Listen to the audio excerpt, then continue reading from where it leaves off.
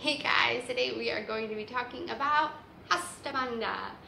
Um, welcome to Yoga Vocabulary. This is the extension on the bandhas. You have five bandhas. They're energetic locks or holds in your body. And we are deep diving into each, well, semi-deep diving. We're just going a little bit more into each little bandha rather than just having one long video on bandhas. So today, today we are working with Hasta Bandha. Hasta means hand and bandha meaning lock or hold. So your hasta bandha is your hand lock or hold. So this would be something you use when you are putting your hands on the ground. You wouldn't necessarily hear a teacher recommend using your utilizing your hasta bandha if your hands are not on the ground. You might, on the other hand, hear someone saying that in regards to Pada Bandha. If your feet are on the ground, they still might say engage your Pada Bandha. But I've never come across it where they're saying it when your hands are on the ground.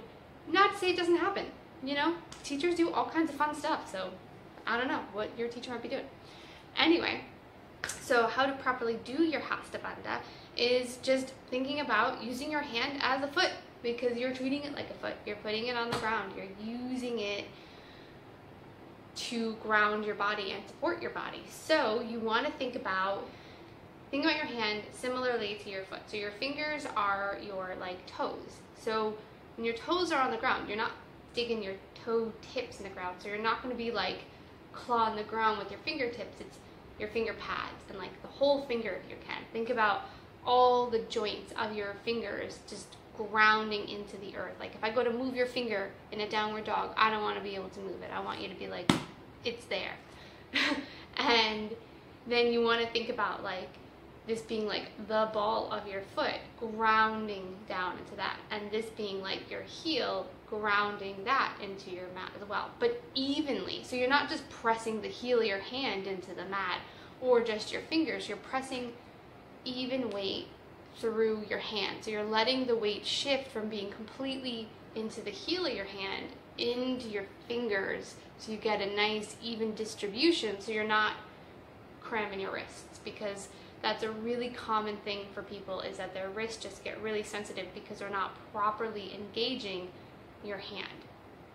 And then here, this will kind of like suction cup up the same way the arch in your foot kind of suction cups up and creates that lift off of your leg, this is creating that lift up your arm.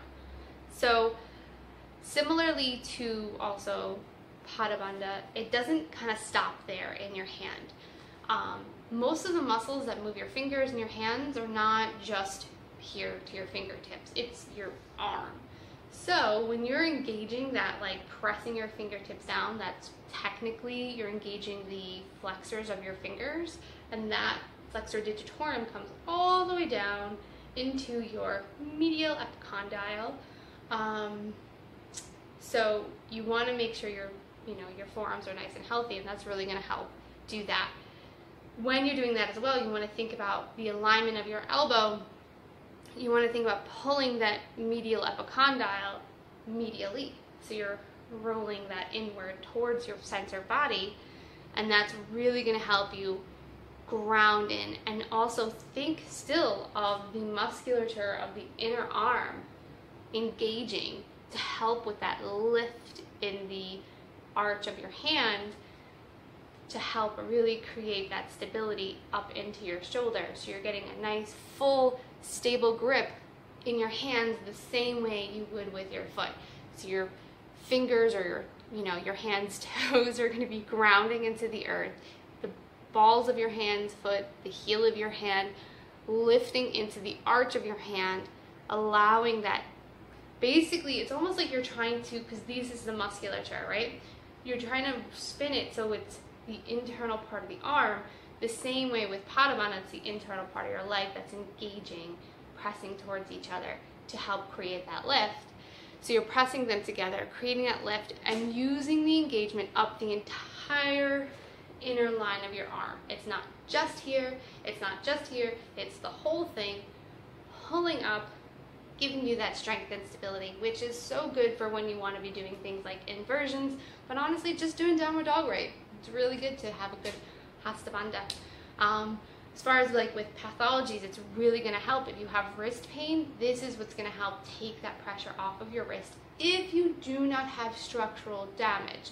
So for me, I was a kid that played hard, so I broke both of my wrists. So I have a lot of wrist pain with certain things. And sometimes I just have to modify. Sometimes I just can't do crow pose. So if you know your body, you know you've damaged yourself, do not let teachers tell you, just do your Hasta Bandha, you work through it. No, no, no. If you do not have structural problems, Hasta Bandha is really going to help you. If you've broken it and have structural issues, it's not, it could help. It, I'm not saying it can't, but there could still be stuff that is just not fixable. And that's just life. You work with it. You work with life. You, sometimes if I'm doing, if I'm doing straight on stuff like planks or um, chaturanga, I'll do a fist you need to use your muscles a little bit more to stabilize your wrist, but that gives me perfect alignment, like it just stacks everything in a straight line so I don't have that angle to aggravate my wrist. You know, you want to work with what you have, but if you just have sore wrists and stuff like that, this will really help keep that healthy if you've never had a trauma. Now, if you've had issues like carpal tunnel from being on a computer, you can stretch and open that stuff up. That wasn't a trauma, it wasn't healed weird, unless it's been very, very long term that you haven't done anything. But as long as there's never been like an actual blunt trauma, Hasta Bandha should really help you and you can do stretching and body work to help loosen up any tension you've created in your wrists. But Hasta Bandha will really help with any tension that or discomfort for when you're doing any weight bearing on your hands. Um, anyway, any questions, any comments, any requests, just let me know below. If you like this video, give it a thumbs up. You can always subscribe and ring the bell if you want to get notified when I post more videos on yoga, and stuff like that. If you want, you can also find me on Instagram where I try to post like little tidbits of fun information. Um, you can check out my website, thewellnessnook.com. That's more so if I'm doing services within your area. I travel, so that's where you can find me and um, I need to kind of set that up more better. anyway, see you guys next time.